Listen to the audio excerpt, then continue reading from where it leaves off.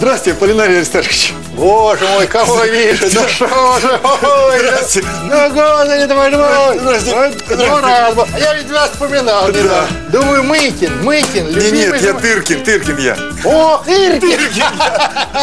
Ну, дорогой, да, да вы так похожи. Мы с Мыкиным однокашники, все ж ваши ученики. Да, да, да, да. Ну что ж, порадовали вы меня. Да нет, вы-то огорчили вы меня, вот в чем дело-то, понимаешь? Видишь, какая штука? Ну, Бенедикт, да? Борис, ну, Борис, Бенедикт, ну, по-нашему, Это- Борис, по-ихнему Бенедикт. Псевдоним я взял Да, просто. Понятно. Значит, смотрите, какая беда-то приключилась. Вот название, это ваше. это круги огня моя. Узнаете, да? Да. А это Ну, это Мыкин в огненном круге. в огненном круге. Похоже ведь, правильно? Ладно бы название, детали совпадают до удивления. Да? Да. Мария вошла в горящую избу и вывела лошадей. Так горело все. Горело что.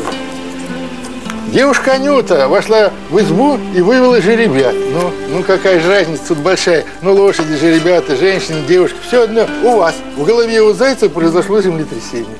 Ну когда? Какого числа? Где? Сколько баллов? Ничего, просто голая фраза и все. У этого то же самое. Мыкин тоже ученик. Понимаешь? В голове у курицы произошло землетрясение. У курицы-то вообще ничего там нету. Вот. вот вы смотрите, у меня, например. Я, я тоже не чуждаюсь вот этих таких народных образов. В голове у слона произошло землетрясение. Ну это же понятно.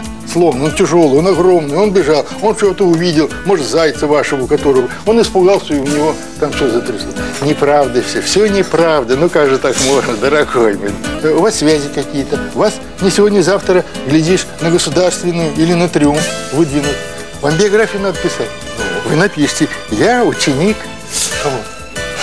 Полинария Аристарховича. А Кому будет стыдно?